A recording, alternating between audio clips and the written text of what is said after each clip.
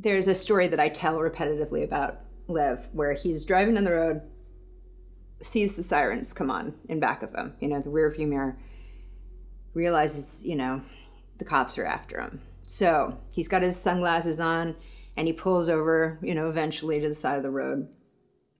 And the cop comes up to the window. He doesn't even turn to look at the cop.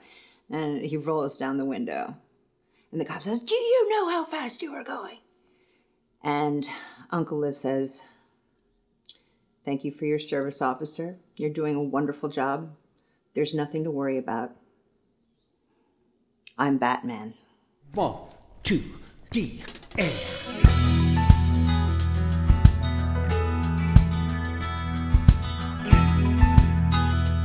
When I think of Livingston, I think about uh, being in his plane.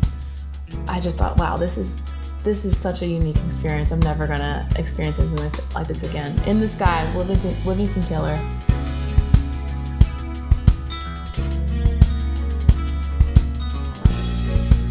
My roommate took Livingston Taylor's first class, and um, she came in and she's like, oh, I have to perform again today. She's always really stressed out about the performances, and she's like, you have to take this class. And I looked into it, and I was like, where has this guy been all my life?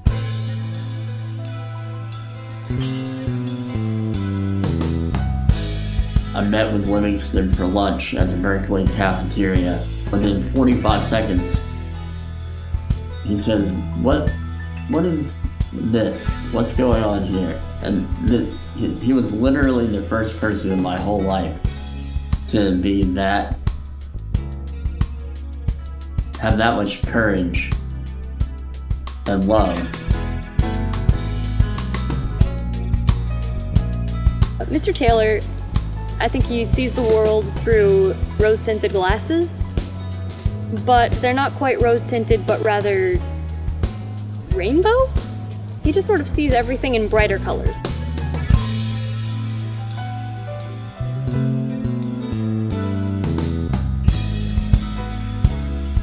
Uh, favor us with a tune, please. Giving your all to others and it all comes back to you. Ooh, you, you,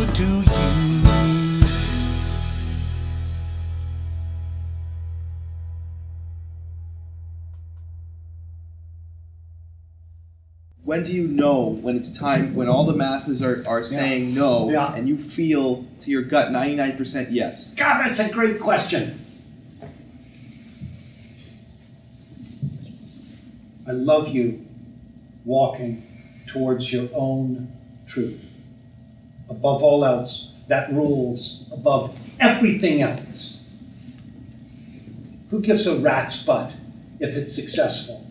If you're walking towards your own truth. And guys, if there's God in heaven, that's what I'm I would be training you to do. I see you with her, and it crushes me inside. Wait a minute. Inside. Boom.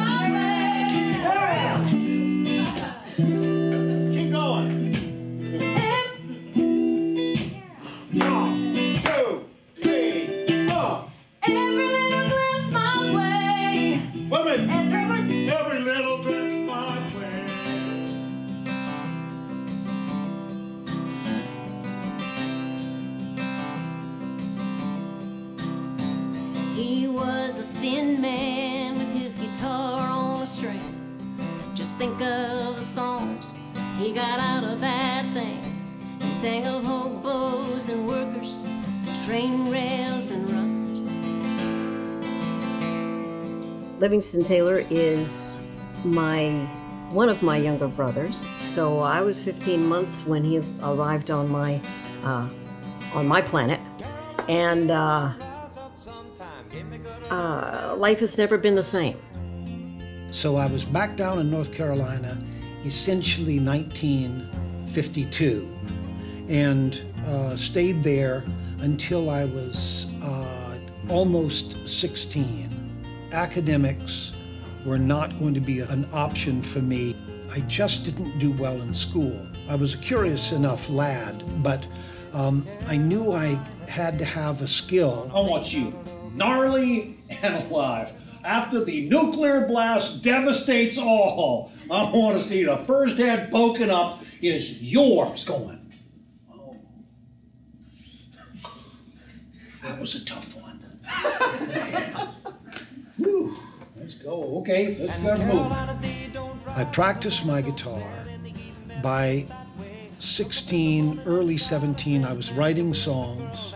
By late uh, uh, 17, uh, uh, I was doing shows, I was playing uh, in coffee houses, open mic nights, that kind of thing. And by early 18, I discovered that I really could get and hold an audience. People started paying me to make music. I remember it was, I think, probably 1969, where um, I wound up having him play as an opening act because in those days the headliner didn't necessarily pick it, so we did everything. And I had him play, and he did, you know, incredibly well. I think the first time I I met him, uh, I knew of him but had never seen him work, and I think he knew me uh, and never seen me work, and uh, we hit it off really well. It was fun, but I made the mistake of saying backstage during sound check, I said, "Liv, I thought they might want to, you know, book this as Brothers of," and he said, "Don't go there."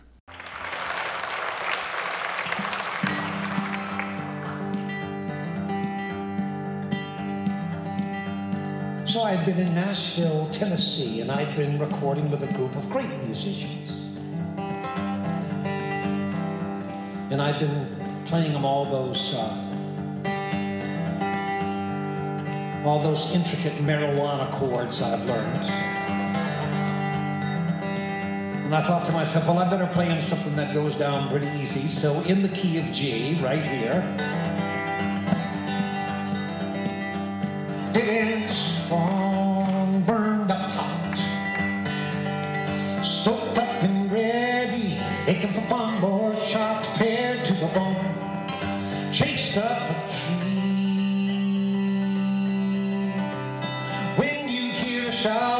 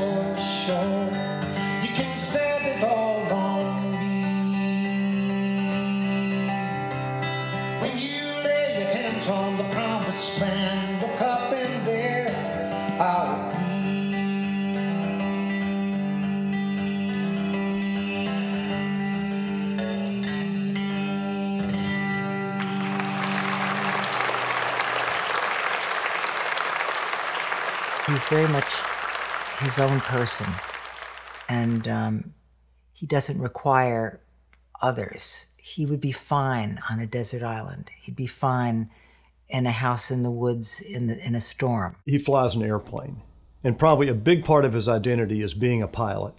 And he loves his plane. It's a small Cessna one engine. He's flown me down to the vineyard a number of times. Let's go fly. I've learned how. We'll stick out our arms and run real fast. Pick up your feet and wow, you're headed for the blue. Things get clear. And that special place we tried to find is now somehow so near.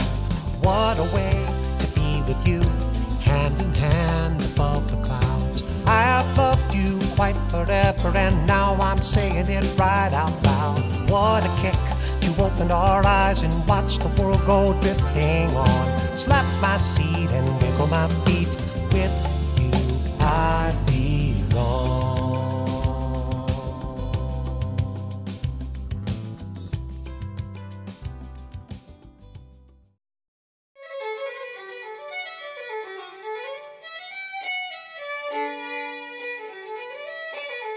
I'm born and raised in Chapel Hill, North Carolina, which is where uh, Livingston is from as well. Started all about learning how to put structure and form, organization, rhythm to my play by ear, improvise overall mentality about life and music.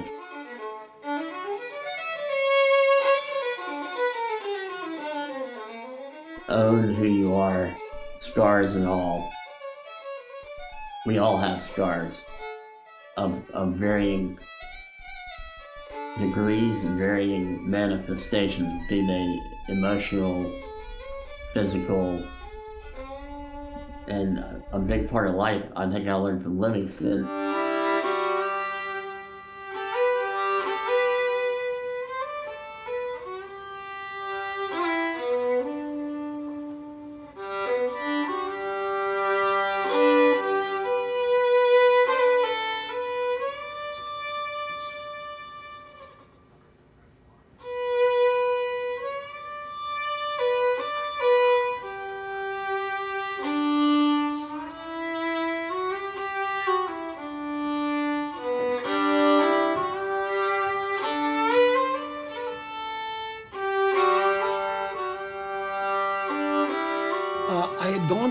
College of Music and started lecturing periodically in the 80s, two, three times. And in 1988, a guy, uh, uh, a, a department chair named Rob Rose, asked if I would teach a course on performance. He said, Livingston, will you teach a course? Yes. In spite of being a lousy student, I love teaching. I love being uh, with students. I, I love the exploration that takes part in that environment. And so I was on that like a tick on a dog. Like most of us, we come to our music, and we come to our music with a ferocity because so many of us have these pieces that are of us that are completed by making music. It is our creativity that overcomes our insecurity, that overcomes our loneliness, that allows us to be in communication. It gives us a vehicle to see and be seen.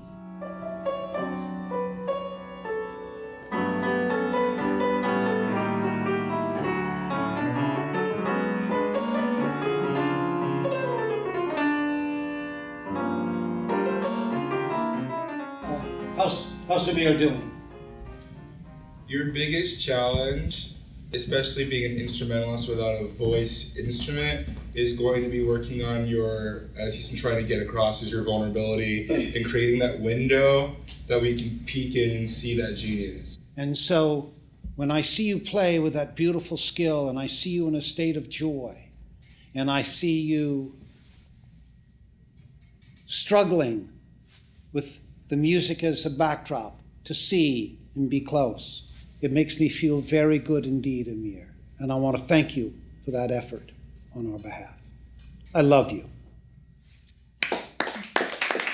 and we've all been to his class because he's always he's always you know teaching in some respect It's so good, guys. The adventure is so good. It's a tricky thing to to uh, to navigate the space you're in, and that's part of what I really admire about Livingston. Uh, and it's a tougher job than I have because Harry now is an icon gone. There'll always be those songs. James is very much bingo right here, doing some of his best work ever. So as a brother, you got to find a space for yourself.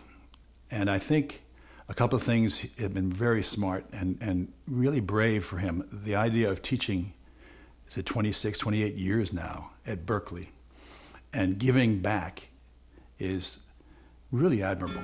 His curiosity is insatiable.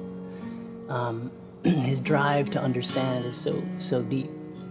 Um, as is the the well f- from which he quenches his thirst.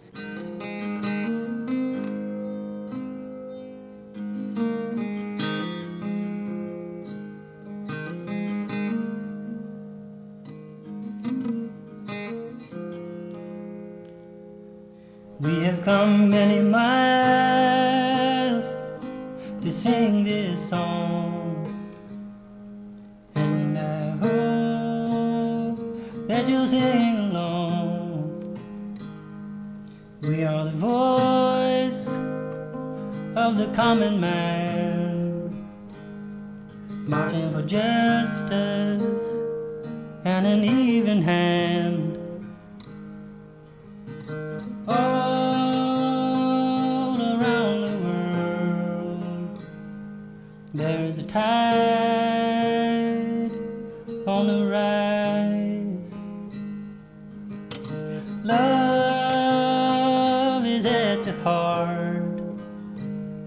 and we can't let fear break us apart. And in my times of trouble, when no one else really was around, I would call Liv, and he would always be there for me. And what will you say when your granddaughter asks where you were on the day when the women drew us out of the shade?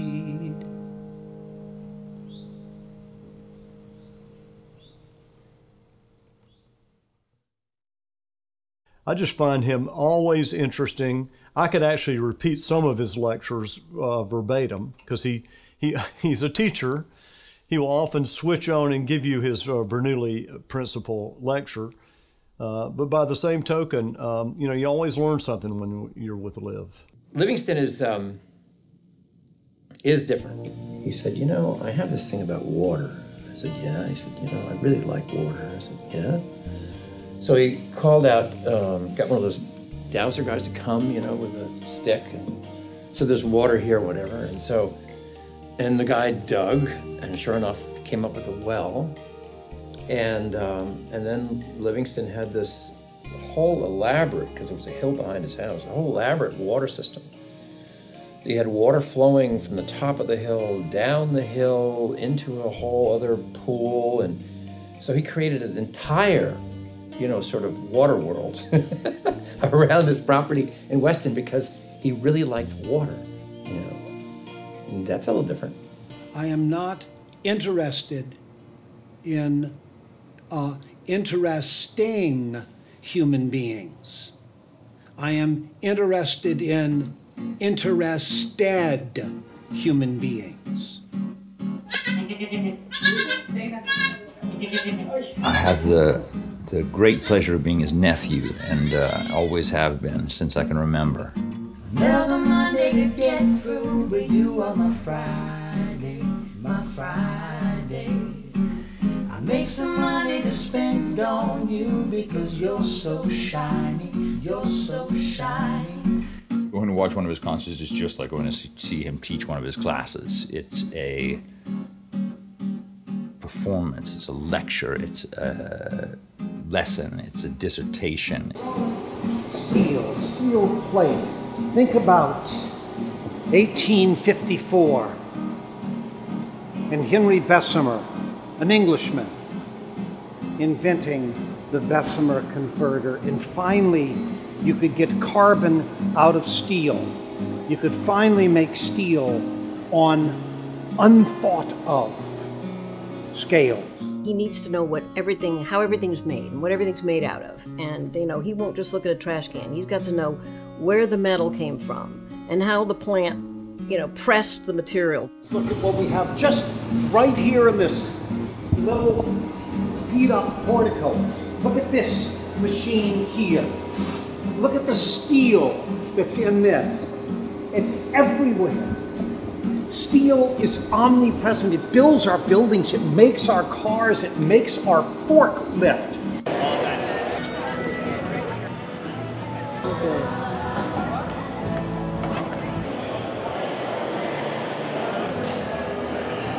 We went to see you at the cellar door, Yeah. the cellar door in Georgetown.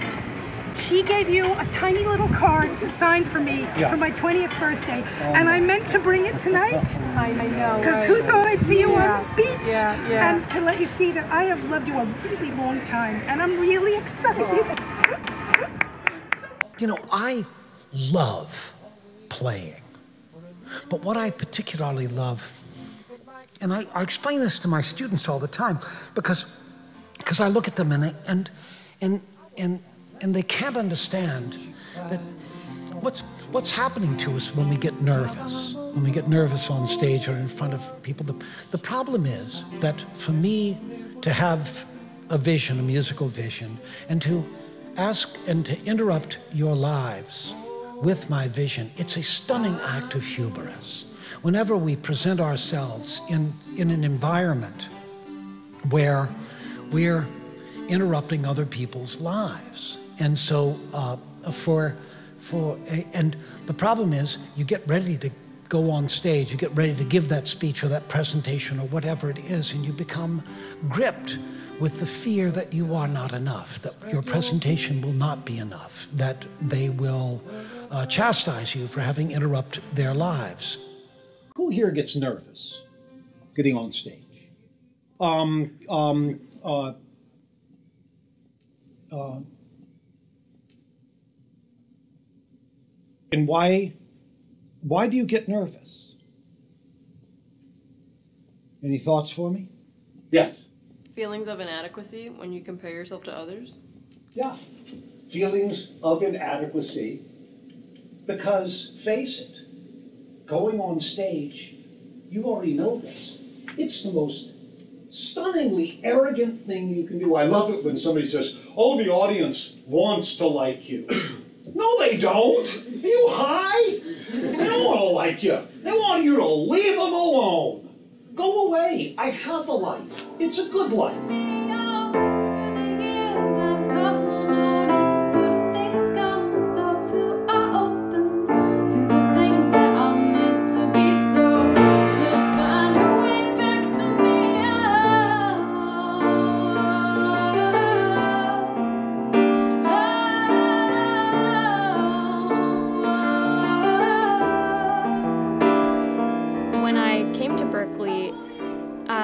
My parents and I attended a little luncheon provost thing, and Mr. Taylor was doing a small presentation at that meeting. Wait a minute. Let's do that line again. What's the lyric there? Her smile was a lifeboat I rode in, and her shanties rang with truth like hymns. Oh, by the way, spectacular lyric writing. You're killing me. I lost a lot of it in the uh, uh, uh, in in your uh, delivery. Okay. I don't want to. So if if you're having trouble singing it, then uh, uh, then speak it more than sing it. I cannot miss those lyrics. All right. Right. Her smile was a lifeboat I rode in, and her shanties rang with truth like hymns, and sailed to somewhere else to start again. Yeah, good. All right, I'll leave you alone.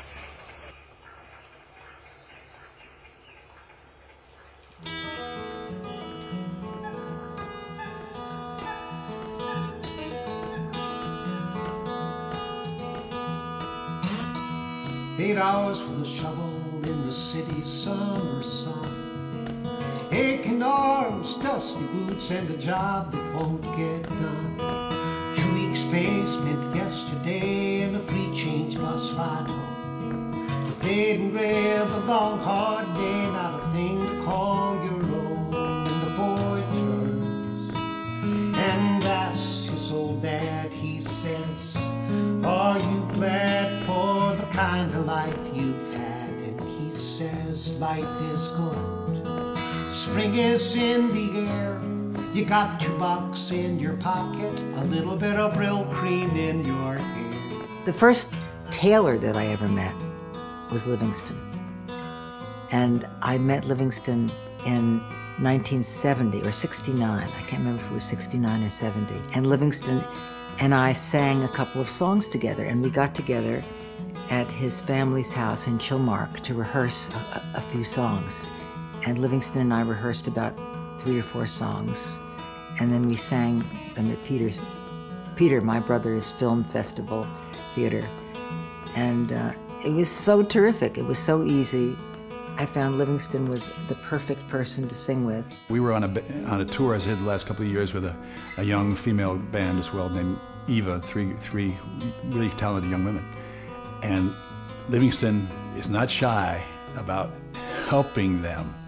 Sometimes they thought it was helping, me, you know, because he will nail you and say, wait, wait, wait, wait, wait, articulate, or hit that note, or why are you saying that on stage? So he was he's always been incredibly generous with his stage. With, for everybody, for students, he always sort of, you know, pulls you up. I need her vocal here, please.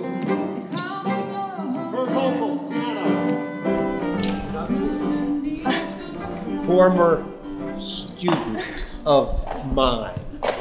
Uh, actually, one of, She uh, one of my survived. She survived. well survived. I should say that um, uh, one of my uh, one of the ones I like to brag on most.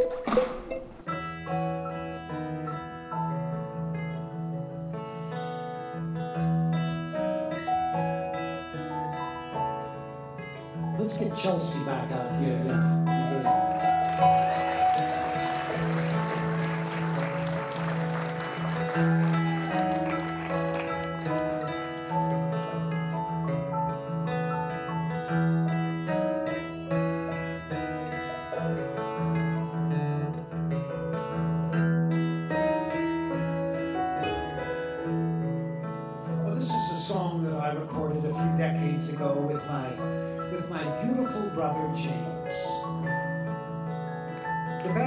that James isn't here.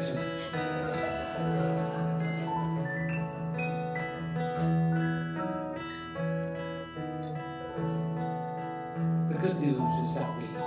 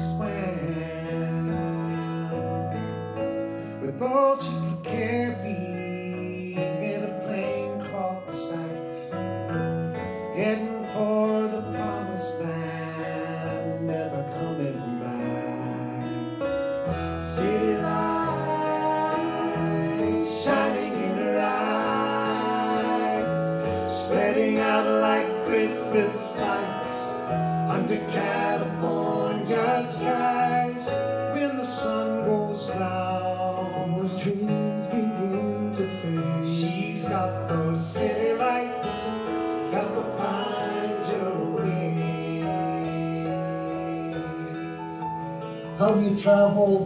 What's your income stream? Are you married? Are you in a, a permanent relationship? Are you, uh, do This you, is uh, Livingston picking on me. Okay, No, so I know, it's just- I know. it's It's just- just I- I- I reality. really-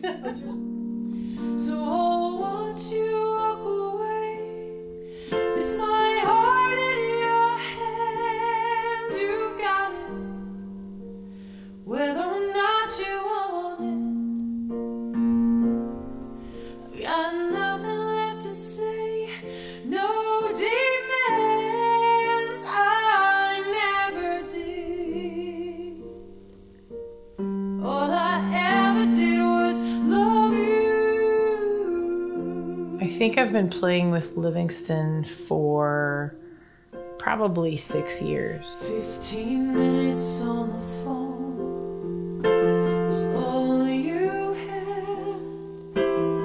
I went to school for a few years at Berklee, took time off, and then went back and finished. And between those two times, um, I was talking with a really good friend of mine who who has been a big part of my musical career, and and she mentioned Livingston at one point and said, "What do you think about trying to reach out to him again since you took his class and seeing if?"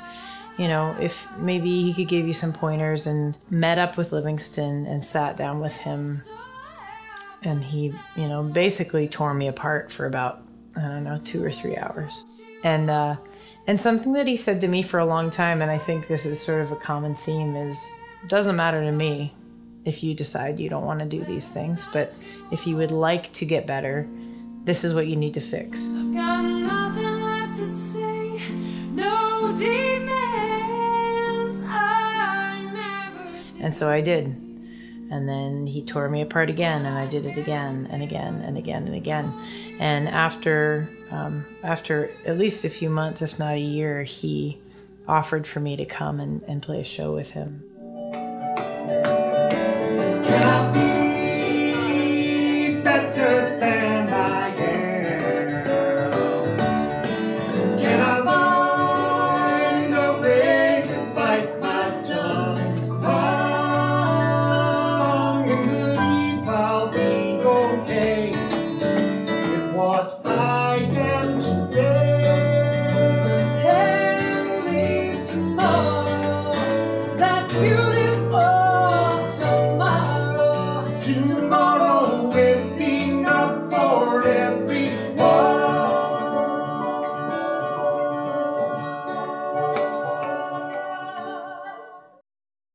This is mainly going out uh, uh, to males, but uh, I, I want to instruct, uh, suggest to you males why you put on the bow tie. You don't put it on to put it on, you put it on to take it off. Because you will be out with the lovely person, correct? And you will have spent an evening with this lovely person. You will get to, you will find yourself at some point in a place of relative privacy. And you want to look at that person, you want to look into their eyes, and you then want to say, being with you tonight has been one of the remarkable events in my life. And I need to tell you how grateful I am to have been graced by your presence. 26. And I released three odd records. I had done very well. And then my career was sort of winding down, as careers are wont to do. I wasn't making very much money. Uh, I had a stack of bills. I was really questioning whether I wanted to stay as a musician and whether that was going to be viable for me for the rest of my life. Um, I got a phone call from Ian Anderson of Jethro Tull. I remember lots of times we played together in the early 70s, and perhaps most significantly, after a show in Chicago, we took off to a to the Playboy Club. You were desperate to go and visit a Playboy Club, and I had to come and hold your hand. Like, probably you were holding my hand too, because we were very nervous, couple of young kids. Uh, out and about on the town, and uh, but we, we our nerves were soothed when a, a very very helpful and nice young lady with a beautifully spotlessly white fluffy tail came over and took good care of us, and we sat and had a couple of beers, and uh, I can't remember what happened after that, but And he called me up and he said, Livingston, I'm not feeling terribly well. Will you open for me at Madison Square Garden? And I said, Ian, thank you for that. But if I delay your New York's audience's reunion with you, they will kill me. You walk on stage and you say to a whole group of people who didn't ask you to be there, I want, I want you to stop what you're doing. And I want you to pay attention to me. And then the panic strikes that you may not be enough. Who's had that panic? Guess what? You may not be enough. And I got up close to the microphone on this first night, and I looked at them and I said, Let me tell you something in this cavernous hall. And it, then it boomed out. Ian Anderson and Jethro Tull are going to be here in a few minutes, and they're going to be fantastic. And as that cheer died down, I then said, But right now, I'm here. And if you don't like it, you can get the out. Knock it off. How dare you? How dare you interrupt my life and then ask if it's okay that you interrupt my life? Because I got the answer for you. No, go away. And then I looked up, and a long neck beer bottle thrown from behind spun past my head, and it spun past my head and into my audience. And it was clear to me that my presence on stage was putting this audience in jeopardy. I stopped the strings, and for one of the only times in my career, I looked at that crowd and I said, It will not be possible to continue tonight. And I left. See you at 10.30 next Friday.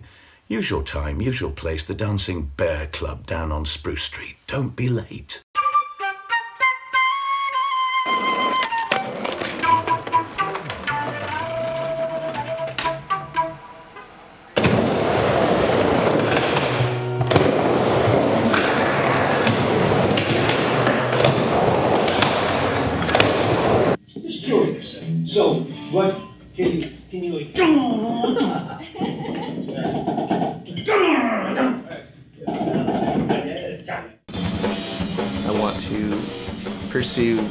Career being a professional guitar player because playing in front of a live crowd, playing in front of a large crowd of people, uh, there's something about that that feeling that gives you no, it's not compared to any other high in your life. uh, here's something I want you to experiment with. Yeah. Um, uh, give me just a tiny amount of volume in the ear, just just the slightest amount. And I want you to play on that book. There. Yeah, good. That's Yeah. fine.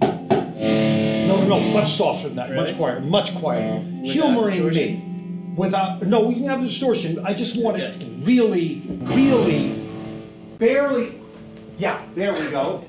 The audience. The audience does not need us. One of the most powerful things that Livingston talks about is is about how how to hold your audience and how to know that it's not your job to be nervous and that it is all about the crowd. But the best thing about him is, to my mind, is his joy on stage. He never forgets that, uh, and he said this to me. Uh, he says, You know, the audience doesn't need you half as much as you need them. He would say to pay attention to the people at the back of the at the back of the room because they're the people that can leave the room the easiest and you want to hold their attention and, and be as present with them as you are with the people in the front row.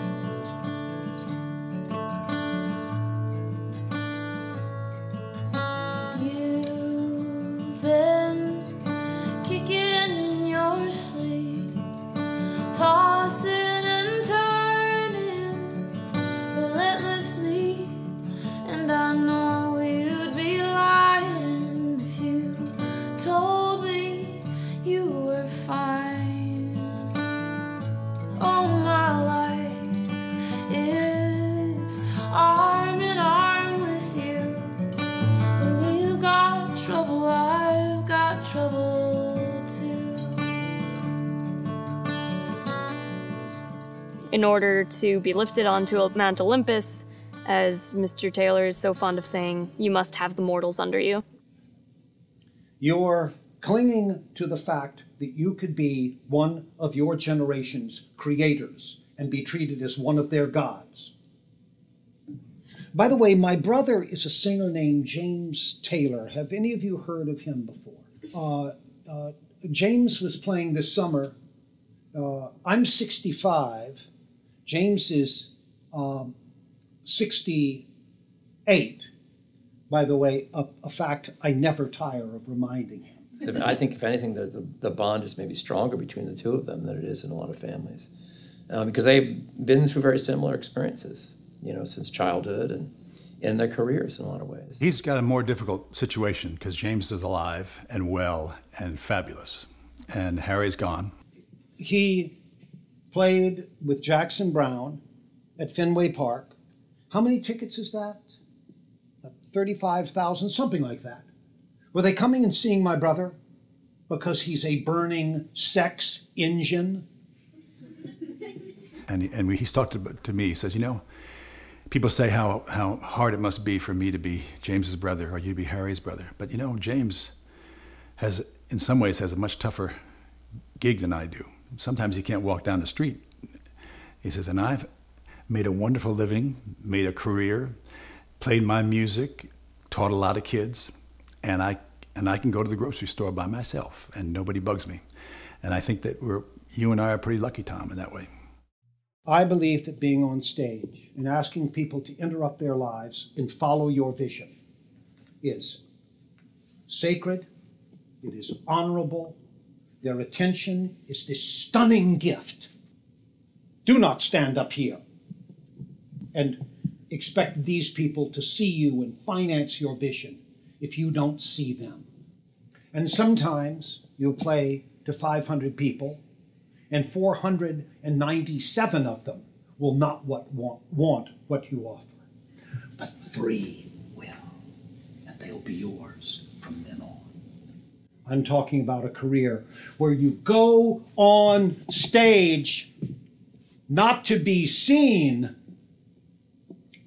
you go on stage to see. Now they're free to be in the proximity of the white hot passion of your content. And you hold them. And then they'll laugh and then they'll cry like babies. That's what this course is all about. Any questions so far? I, I've heard that song, that Olympic song, uh, I don't know, you know, a hundred times maybe, I don't know, but it always cracks me up. He's hilarious. And he always delivers it like it's the first time. And here, for the United States of America, on freestyle guitar, Livingston Taylor.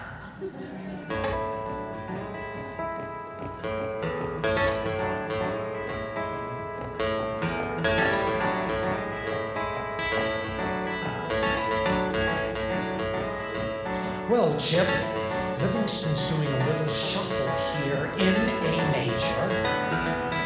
Seems to be going he's scheduled to go to the four chord, but after what happened at the Nationals in Paramus, you gotta think he's not going to risk it here tonight. No, wait a minute. No, I am wrong. He's gonna go for it. All right, he's got a difficult triplet maneuver up the neck. He's going to have to nail this. He stuck it!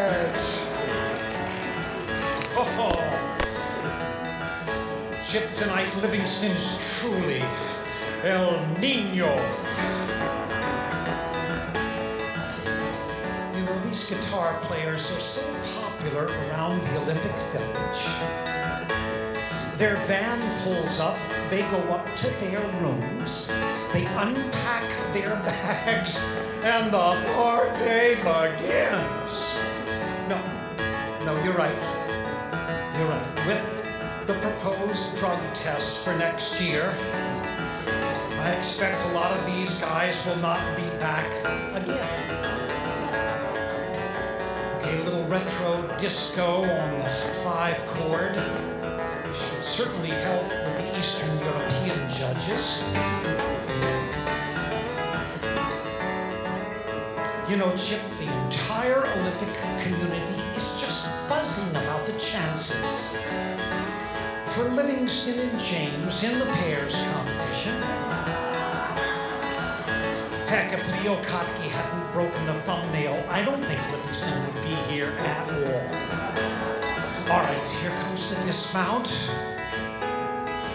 Chippy's right on the bubble here. No chance of getting the gold from Carlos Santana. But if he can stick this ending, might sneak in for a medal. He's going to have to nail the dismount.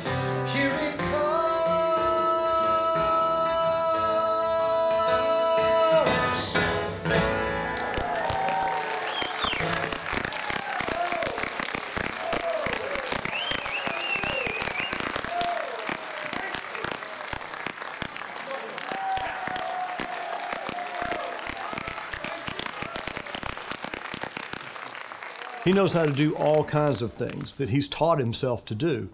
And one of the things I love about Liv is that, you know, he'll, he'll be the first to tell you that school and he didn't really mix that well. Livingston is a, is a, is a teacher, and he's always taught. And he teaches you wherever you are and whatever you're doing and, and whatever you're doing it about. He's fixed ceilings in this house for me. He said, you know, you've got a bad pipe in that ceiling. And then all of a sudden, the next thing I know, an axe will have gone through the ceiling and he'll be fixing a pipe. He won't be around for the reconstruction of the ceiling, but he'll, he'll have fixed the pipe. lesson from I learned so much in the absence of her touch. I got a PhD in doing it. Why is this thing going to actually fly? Here in lonely school, and that's life. It's a one-word test, and the correct answer is yes, yes, yes. Yes,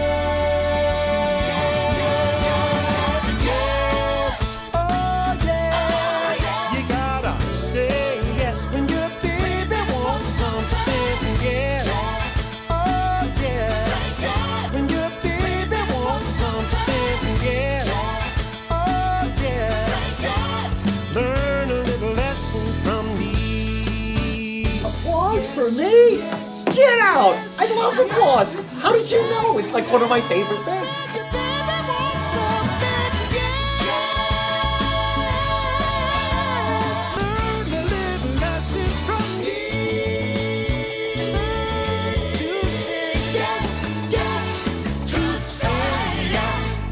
It's been an ongoing um, uh, metamorphosis, uh, uh, seeing my students, tweaking year after year, developing little details here and there. I do an exercise in my class where I have the uh, uh, my students stand up and count to eight. One, two, three, four, five, six, seven, eight. One, two, three, four, five, six, seven, eight. Two, four, six, seven, eight. One, two, five, eight, one, eight, one, and just count and let the time go. Now, by the way, um, um, I see you casually and sloppily putting on that capo. First time it was, I want, I want you guys to be, who here uses capos on their guitars? I want you guys to be careful with this. Putting it in, getting it nice and, um, and set on evenly and just.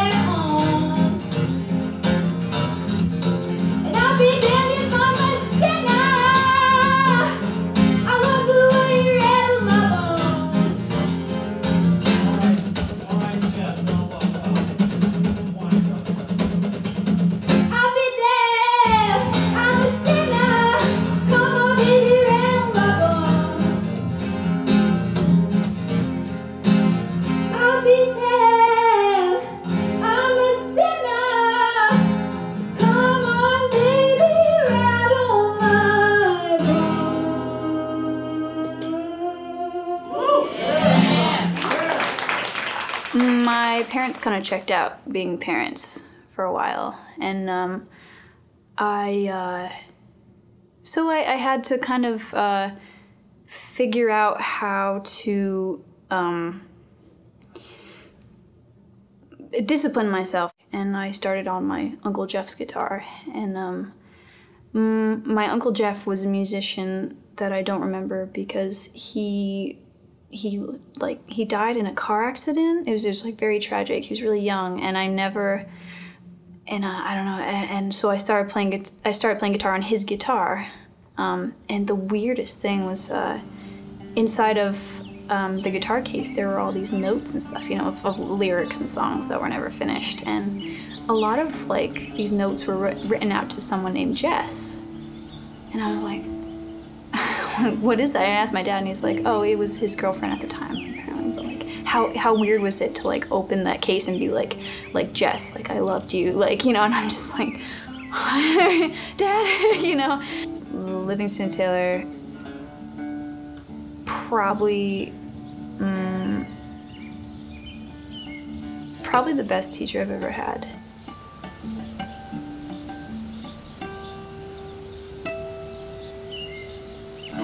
He's just an adorable human being who, who I, I think an awful lot of people have loved Livingston. You know, you get that feeling that he's allowed just enough of the right people close to him, so that he's he has trust about humanity or toward toward a lot of the people that he's chosen to inhabit his life. He's a softy. He wouldn't want you to know that, but he's a he's a curmudgeon. Uh, to my mind, the amazing thing about him is that uh, what a professional he is. And I say this as another professional. Uh, if you have never seen Livingston Taylor in concert, you've missed something. It took you a long time to get in time together, to get grooved together. I want you to.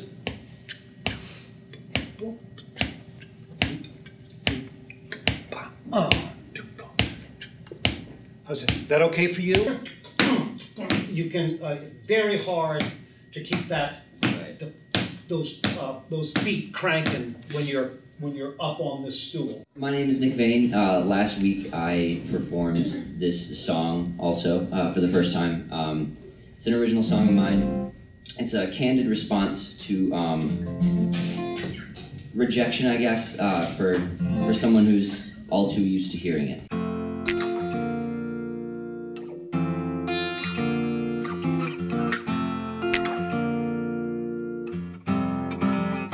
I've had too many talks after class to know where this one's going. I've had too many broken hearts to know how this one ends. I've had too many tell you laters and unrequited loves to know unequivocally that I'm out of luck. Livingston's class has been a big influence for me in performing as well as writing. From the writing standpoint, it causes me to look more deeply, more detailed at my lyrics to make sure they make sense, make sure they're um, they have continuity to them. You're feeding me the same old lines. I've got too many IOUs to know. There will be no you and I.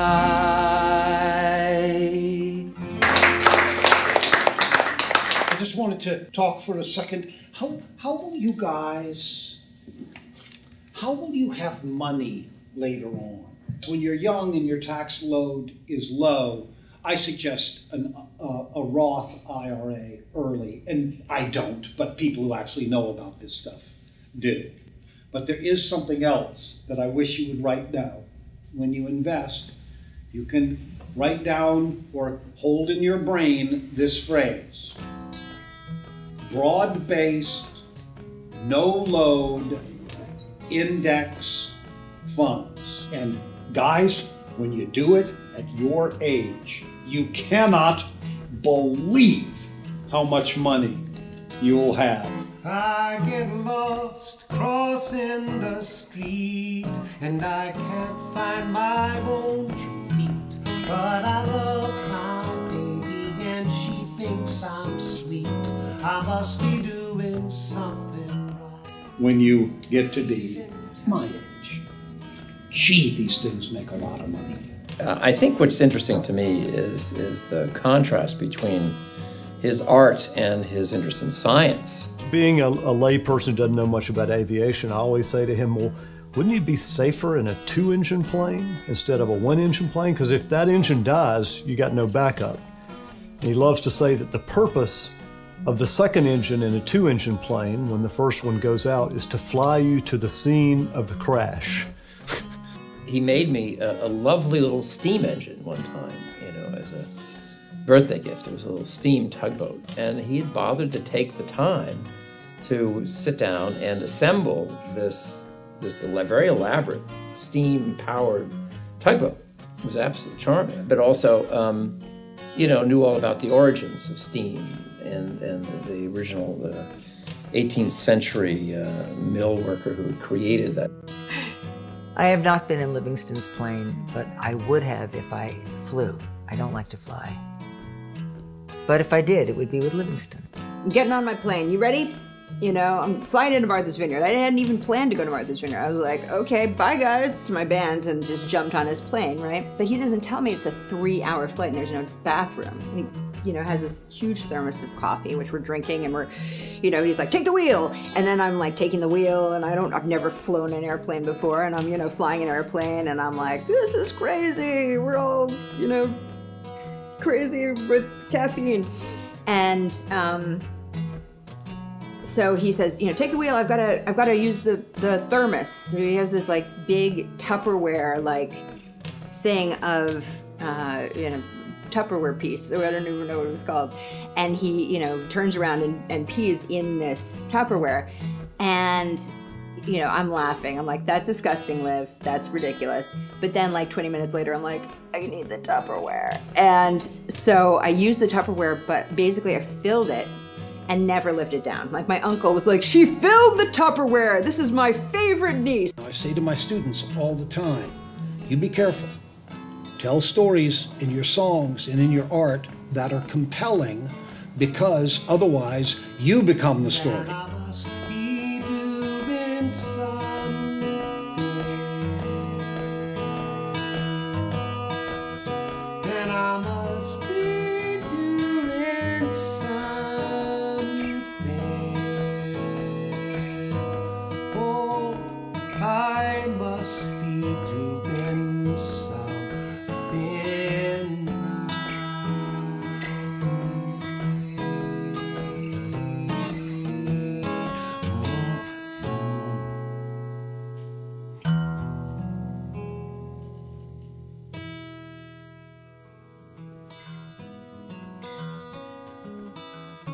Takeaways are this this uh, piece of paper that he hands out at the end of a semester with all the quotes that he usually says. I tend to repeat things a lot and emphasize the same point from the first class to the last. Uh, my favorite Livingston Taylor takeaway is your parents didn't have you.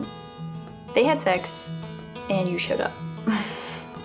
I was all over that like buzzards on a meat wagon, or she folded like a pair of twos. And he's got thousands of these that he can break out on a moment's notice. Livingston and I, in some ways, uh, feel like brothers. We, we, we recognize each other. You know, fa- different families, both um, in this crazy music business for a lot of years, both loving to perform. And uh, yeah, as if I needed another brother, I got one. But you know, when I see him, you know, he'll pull up in his um, 1950s BMW sidecar, you know, a motorcycle with a sidecar and stuff, and goggles on. It's uh, quite a picture, you know. So he is definitely an original. To be able to do what I do, to fly airplanes, to drive motorcycles, to have this freedom, I have given up some very important things that other people have. I, for instance, have no children. And to not have done that gives me other freedoms, gives me a certain detachment. But there is a real reservoir of sadness in that reality.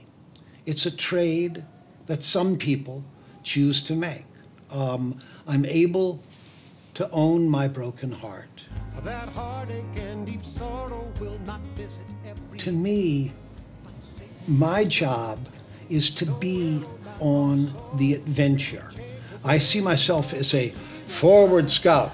Livingston Taylor with a scouting report. It's uh, uh, uh, those old westerns where you have the army and the scout for the army. I'm the scout for the army.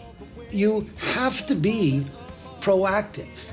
And again, uh, there's a song I wrote, favorite song of mine. It's called Step by Step. And it's a gospel song. And it's a, one of these uh, big, paint the barn, red gospel songs. And, uh, and, and the, the core of that song, it says, Step by step, I'm walking my way to Canaan. That's, um, uh, that's the opening line in it. This idea that if you want to be someplace, start walking. And there's a phrase I like uh, do not let the uh, perfect stand in the way of the completed. Finish things, get things done. Um, the, finish the song. You will write the perfect song if the gods align, if the stars align and the gods smile favorably, perhaps you will write the perfect song. But get started. Go. Just walk. Um, walk where you, you want to go. We're also going to be doing a little performance later on with a few of the students and uh, would love it if you're free to just uh, come on by. One, two, three, and.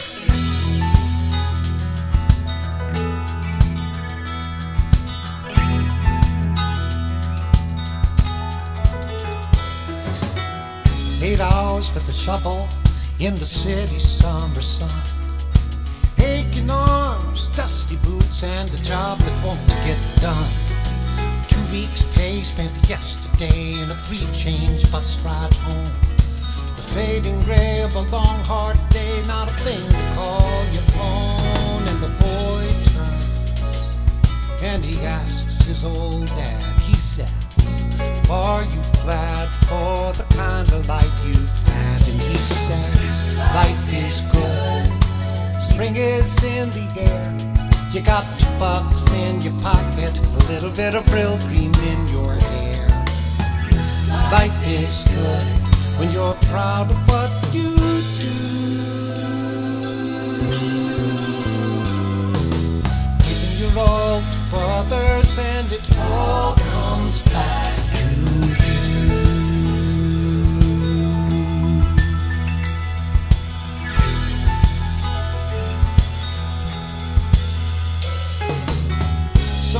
guys are handsome, they make friends all the time. They always got a buddy and they always feel fine. Others take the backseat, watching the world go by. Living life alone, quietly and shy. But when love strikes and fires start to burn, those lonely years melt away. Finally, it's your turn, and you say, Life is good. Winter's blowing cold. Love is forever, and it never will grow old. Life is good when you're proud what you do. Now giving your all to others, and it all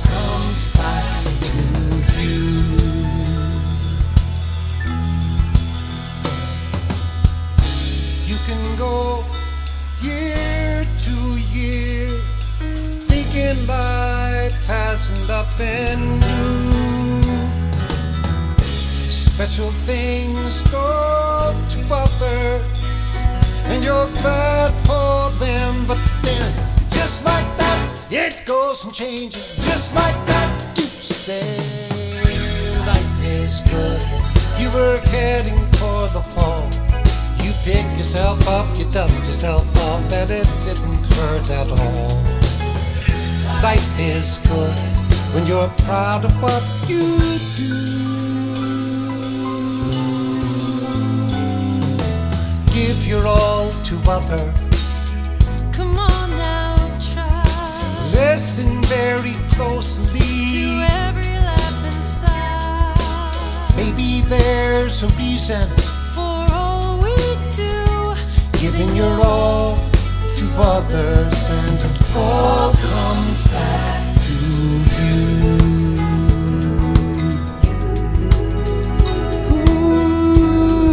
You, you do you.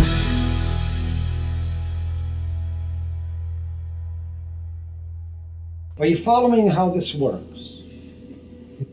Good. Got back to reality.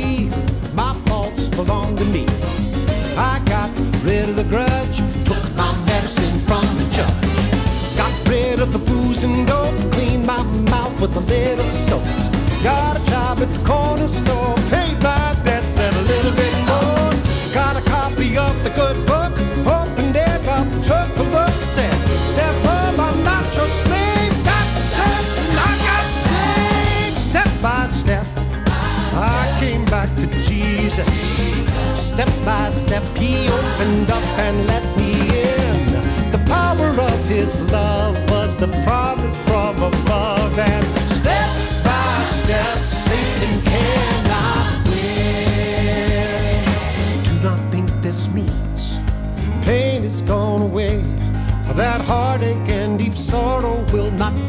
every day.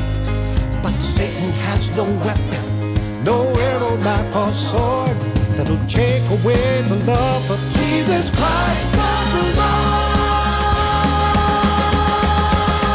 Step by step, He was walking right beside us. Oh, step by step, He was with us all the way. From the moment of our birth, He had the measure of our worth. And He's walking us home to Judgment Day. From the moment of our birth, He had the measure of our worth. And He's walking us home to Judgment Day.